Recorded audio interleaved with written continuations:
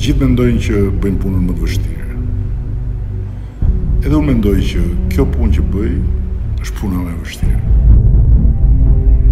Unë punoj shumë. Problemet që duhen zgjidhur çdo ditë janë të pafundme. Lëre pastaj bum tërmeti, bam Covidi, çfarë sfidash? Familja Lala ka tanë anëtarët një viktimë.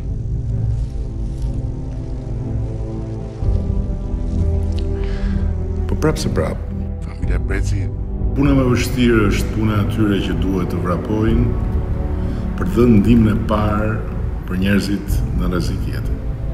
Madje në rrënojat e tërmetit.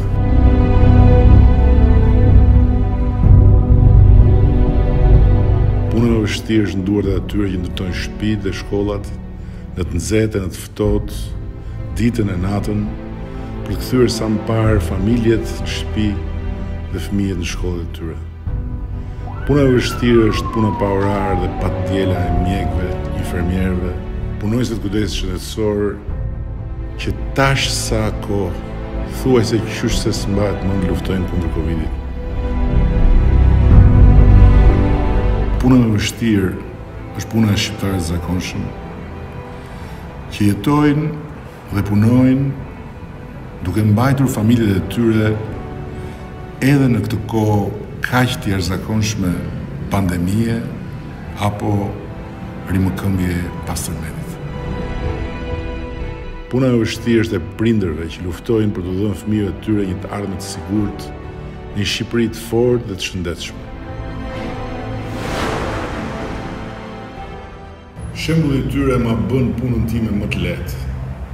Ata janë arsyeja pse unë zgjohem çdo mëngjes me një dëshirë kaq të madhe për të luftuar që të bëj më të mirën çdo ditë për vendin tonë. Për njerëzit tanë, për një jetë më të mirë dhe një të ardhme më të ndritshme. Të gjithë njerëzit që sot punojnë kaq shumë në Shqipëri dhe të gjitha familjet e tyre dua t'i falenderoj me mirënjohje nga zemra për gjithçka më japin dhe gjithçka i japin këtij vendi dhe t'i uroj një vit të ri siç ua do zemra e siç padyshim e meritojnë të gjithë.